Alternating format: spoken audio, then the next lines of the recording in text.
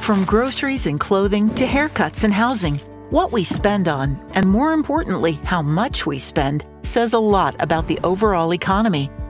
All this data is tracked by a tool called the Consumer Price Index. So, how is this index calculated and what can it tell us? This is the Consumer Price Index Unpacked. The Consumer Price Index, or the CPI, tracks changes in the prices of goods and services over time. It dates back to World War I. Prices were increasing rapidly and wages needed to be adjusted.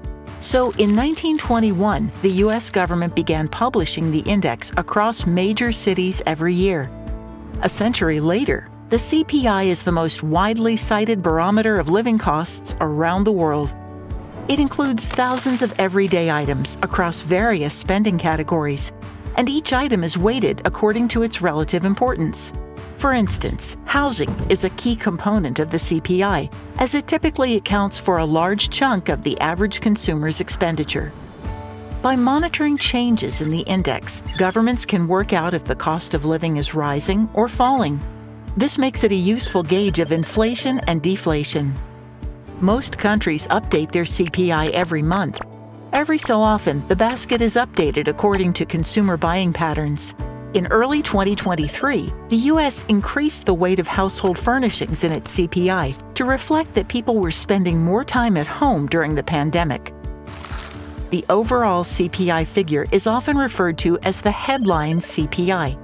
However, economists and policymakers tend to look at core CPI, which excludes food and energy data. This is because the costs that feed into these components, like oil prices, can be quite volatile from month to month.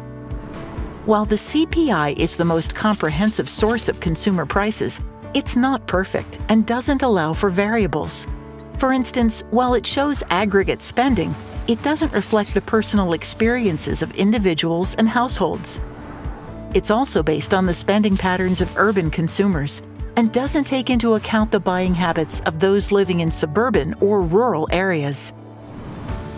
What's more, the index doesn't consider the effects of substitution or the fact that when an item becomes more expensive, people tend to seek out more affordable alternatives.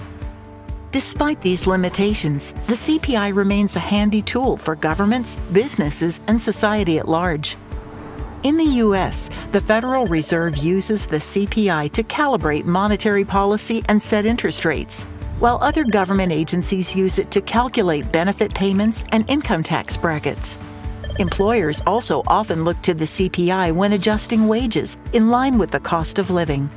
All in all, the CPI is an important metric that informs many major decisions and tells us a lot about the health of a country's economy.